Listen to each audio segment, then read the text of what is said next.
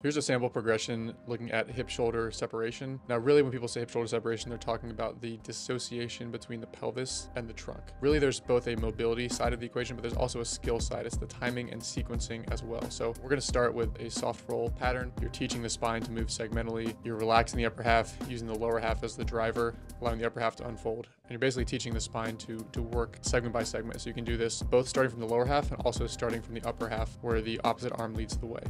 This is a quadruped T-spine rotation. Sit back into the heels. Using a band can help assist this movement and just isolate that movement towards the mid upper back. Again, this is a critical piece for the actual mobility to dissociate the pelvis from the trunk when it comes to your throwing. And then here's an additional one. This is the dissociation trunk twist. All we're doing here is trying to feel that wave of energy flow through the body instead of just doing kind of a robotic trunk twist. Let the hips drive the movement, let that rotation from the pelvis drive the movement. Feel like there's a tornado of energy winding its way from the ground through the hips into the upper half.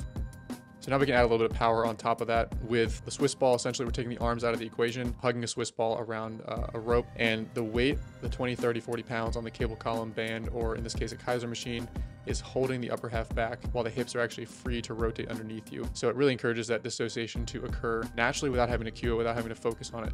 Here's another variation of that. This way, we're gonna start in kind of a reverse kneeling position, opposite leg forward, rotate and fire. And again, we're really just thinking about throwing the hips and starting in this counter rotated position can really help encourage that dissociation between the trunk and the pelvis to occur.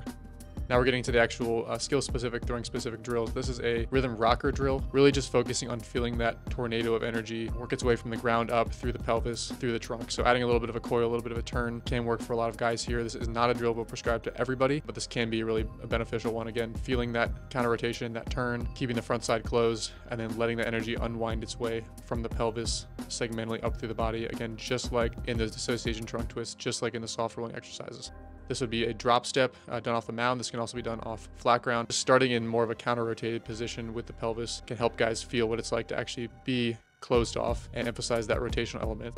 This would be a rotational step back. We're trying to allow the hips to hold closed, but then pop open ahead of the upper half without the upper half flying open. So we can actually bias that with kind of this preload, this pre-swing of that back leg. Start with the hips fully open, close them fully off, get them open again while keeping the upper half closed. That initial leg swing, that preload, really, really helpful. It's going to feel natural, fluid, and really sink in for a lot of guys. This is one of our favorite variations uh, for teaching hip shoulder separation and just that smooth, fluid transfer of energy from the from the lower half. This is not a one size fits all prescription. It's going to be different for every player that we work with, but go ahead, play with some of these things. Uh, if you're a coach, which of these different movements might apply to some of your guys? Let us know in the comments what you think. Thanks again.